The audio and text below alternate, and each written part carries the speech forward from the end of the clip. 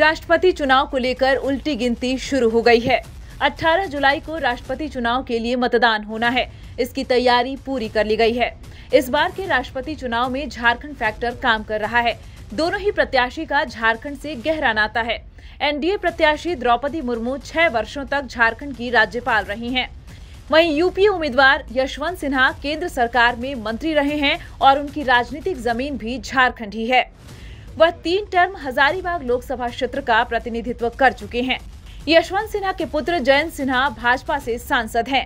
पिता यशवंत सिन्हा के द्वारा छोड़ी गई लोकसभा सीट से भले ही जयंत सिन्हा हजारीबाग का प्रतिनिधित्व संसद में कर रहे हैं, लेकिन राष्ट्रपति चुनाव में ऐसा सीन बना है कि पिता को पुत्र का ही वोट नहीं मिल रहा है। जयंत सिन्हा ने पूर्व में ही यह घोषणा कर दी है कि उनका वोट पार्टी के अधिकृत प्रत्याशी को जाएगा। ज़ाहिर है, यशवंत सिन्हा अपने पुत्र के वोट के लिए भी मोहताज रह जाएँगे। झारखंड के वोटों के आंकड़ों पर गौर करें तो अपने ही राज्य में यशवंत सिन्हा बुरी तरह से हार रहे हैं। राष्ट्रपति चुनाव में एनडीए की प्रत्याशी द्रौपदी मुर्मू को झारखंड मुक्ति मोर्चा ने समर्थन देने की घोषणा कर दी है। पार्टी सुप्रीमो शिबू सोरेन ने गुरुवार को इसकी घोषणा की। इससे द्रौपदी मुर्मू को झारखंड में बीजेपी और आसू के बाद झामुमो का भी समर्थन मिल गया है।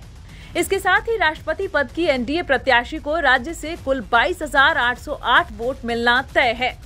झारखंड में वोट का वैल्यू अट्ठाईस है। राष्ट्रपति चुनाव में आबादी के मुताबिक जन प्रतिनिधियों के वोटों की कीमत तय होती है। विधानसभा के इक्यासी विधायक लोकसभा के 14 और राज्यसभा के 6 सदस्य राष्ट्रपति चुनाव में वोट डालेंगे। झारखंड के एक विधायक के वोट का मूल्य एक सौ छिहत्तर है। इस बार सांसदों का वोट वैल्यू 708 से घटकर 700 है। इस लिहाज से 14,000 वोट वैल्यू है जबकि विधायकों का वोट वैल्यू 14,256 है। अगर दोनों को जोड़ दिया जाए तो झारखंड में कुल वोट वैल्यू 28,256 है।